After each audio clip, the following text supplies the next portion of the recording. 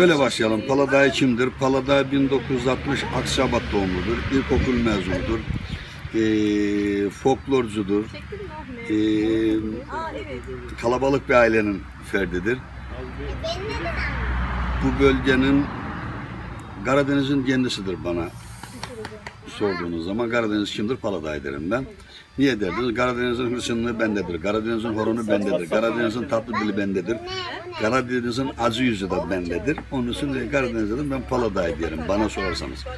Tabii eee bölgenin bütün özelliğini yansıtmak her insan nasip olmaz. Allah bunu bana nasip etmiştir. Onun için e, Paladağ'ı Karadenizli diyelim ona geçip gidelim. Karadeniz'deki ne bileyim horonu temsil eder, hamsiyi temsil eder, bahçedeki tütünü temsil eder, dağdaki fırtınayı temsil eder, eder de eder. E, Paladağ bu. Peki e, Karadeniz'den bahsetmemize gerek var mı? Kesinlikle var. Ben dünyayı gezdim. Her bölgenin ayrı bir güzelliği var ama Karadeniz'in özelliği dünyanın hiçbir yerinde yok. Bunu bir kere herkes bilecek. Neden? Karadeniz insanı kadar kendinden barışık, dalga geçen bir toplum dünyada bir daha görme şansı kimsenin yok. Öyle bir şansı yok yani. Bunu görmeden tabii tecrübe etme bilmiyorsunuz. Ben dünyayı gezdiğim için bunu biliyorum. Özel bir insanız. Bunda dağlarımızın özelliği var, denizimizin özelliği var, fırtınamızın özelliği var. Bütün özellik var. Yani Karadeniz özel bir, dünyada özel bir konulması gereken yerdir. Bunu herkes böyle bilecek. Eski günlerimize geldi mi, çocuklar ben eski günlerimi zaten yaşıyorum. Neden yaşıyorum? Ben bu zamana kadar bir büyüğümün yanında ayak yakasını atmadım. Bir büyüğümün yanında sigara içmedim. Bir büyüğüm bana bağırdığı zaman kesinlikle cevap vermedim. Ee, ne korkarım, ne de zerreye kadar birinden çekinirim. Ama bizim gördüğümüz olmuş terbiye, kültür onu getiriyor. Doğru muydu? Doğruydu. Bizim zamanımızda şu andaki gençlerin flörtleri bizim zamanımızdaki sevdalıktı.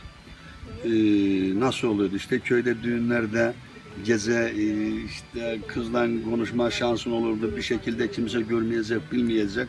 Ee, işte fındıklıkta buluşuyordun. Böyle kafelerde değil yani. Şimdiki e, sevdalıklar bana göre sevdalık da değil. Yaşa e, hoş da görmüyorum. Ben e, yozlaştı diye düşünüyorum. Neden? Ben sevdalık ettiğim zaman bir Allah, bir benim karşımdaki kız, bir de ben biliyordum. Ayrıldığımız zaman da kimsenin bir yerine haberi yoktu. Ama şimdi işte kafede Hasan orada biz anlaşamadık gidiyoruz. Mehmet orada anlaşamadık. Ne anlaşamadın? Arsa mı pay ediyorsun? Arsa mı pay ediyorsun? Anlaşamadın ne? Elektrik alamadın. Orada fiş var. Takarsın alırsın. Onun için e, onun eski günler çok başkaydı. Eski bayramlar da başkaydı. Bayram sabahları bütün büyükler işte çocukları süslüyordular, giyiniyordular. Bayrama gidiyordu, herkes sıraya giriyordu, büyüklerin elleri öpülüyordu, hediyeler alınıyordu. Her şey sevgiydi, maddiyet değil. Hele hele şu son telefonlar çıkınca, internetler çıkınca Allah'ın selameti kafana iyicene bozuldu. Şu andaki çocuklara baktığın zaman ben mahallede çalmadığım meyve kalmadı. Kimin kapısında incir, armut var, duman kaldırırız. Kimse de bağırmazdı bize. Yavrum dalları kırma diyordu. Şimdiki bir çocuğu bana birinin bahçesine erik aldığını söyleyemezsiniz.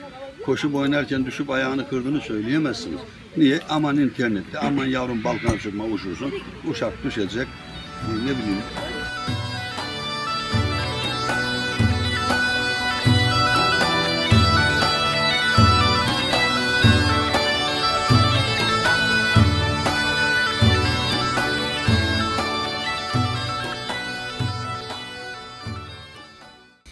...16 yaşlarındayım.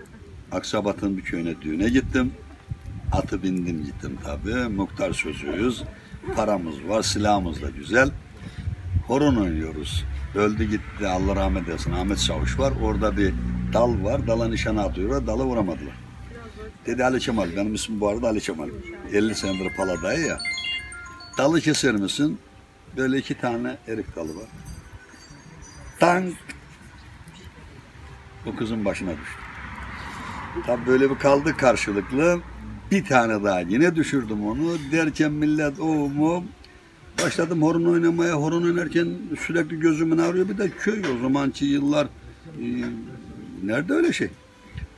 Çare yok. E, Sami diye bir arkadaşım var. Düğün dağıldı. Dedim Sami bu kız kimin nesi? Dedi işte falancının kızıdır. Sırt köydenin şöyle bir rampa var. Baktım o kız o düğündeki elbiseyle beraber inekleri aldı gidiyor. Dedim Sami sen ata bin. Benim bu şapkayı da al ben gidiyorum.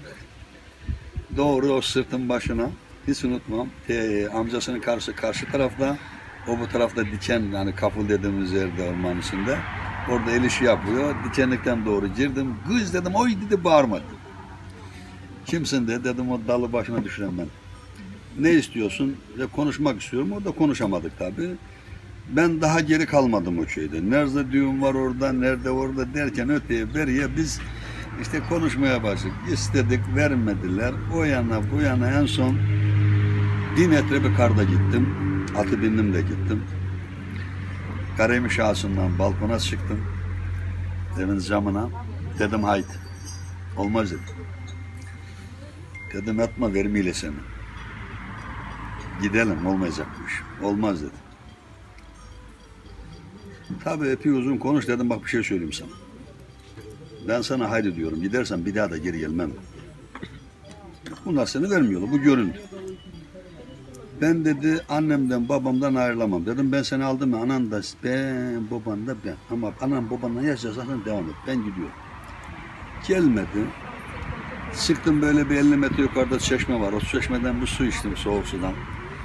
Ondan sonra ağlaya ağlaya türkü söyleye söyleye Yeniköy'den aşağı Akçabat'a geldim. O film öyle bitti.